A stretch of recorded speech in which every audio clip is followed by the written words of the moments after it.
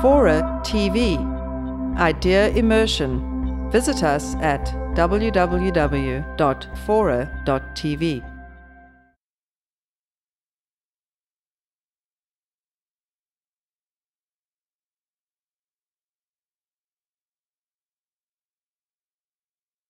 I was talking to Dr. Sam Gambhir, and I said, you know, I got to tell you, I've spent the last year uh, talking about biology and organic chemistry and antibodies and proteins and uh, gooba goblins, whatever the heck that stuff, you know, uh, that's in your blood. You know, I, I'm an engineer. I'm an electrical guy. I, I, I purposely slept through biology because I wasn't pre-med, and and um, you know, proteins and antibodies, and, and and I said, you know, antibodies seem to be important, and monoclonal antibodies, by the way, which they use nude mice to to create.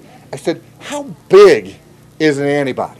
He goes, oh, uh, you know, that's simple. It's uh, 30 uh, microdaltons, right?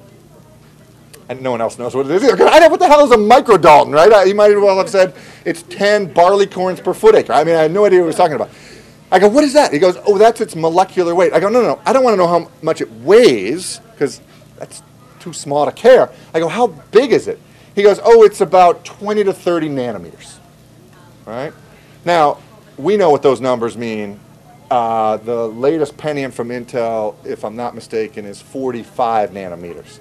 So we're a generation, maybe two generation away of line widths here in, in Silicon Valley that are going to be capable of handling antibodies. And, and uh, there's a company called Affymetrix that has perfected the technique of binding uh, uh, DNA SNPs uh, uh, to glass, and the same technology can be used to bind antibodies to silicon wires or silicon nanotubes. And the reason you use nanotubes is, is so your blood can flow through it. And so we all hear about nanotechnology, and I'm still waiting for that space elevator or whatever they keep talking about as the use of nanotechnology or, or you know, uh, uh, stain-resistant uh, uh, Levi's. Uh, You know, that's, that's all neat stuff. But here, perhaps, is one of the early uses of, of nanotechnology that, that, that's going to save lives. And it's not going to be inserted in nanobots screwing around your body and swimming around looking for tumors. It's not that at all. It's outside your body. It's a silicon chip.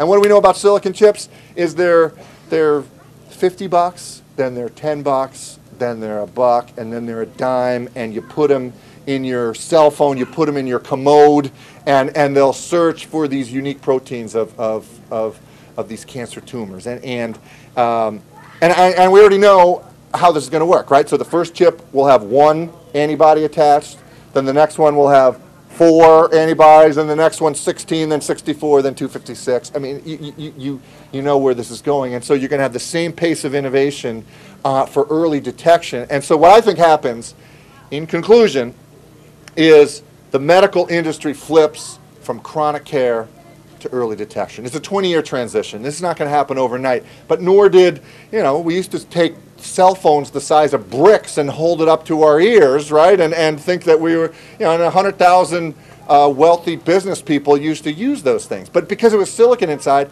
it got cheaper. And over the last 15 plus years, it's gotten to the point where cell phones, you know, uh, slip in your pocket, you break them, you throw them away, and there are a billion of them sold instead of 100,000 of them sold. And, and it's democratized mo- mobile communications, and it's screwed up, by the way, the landline communications business, which uh, uh, there's a lot of battles over. And the same thing's going to happen here. There's a status quo. There's a fee-for-service business. Doctors.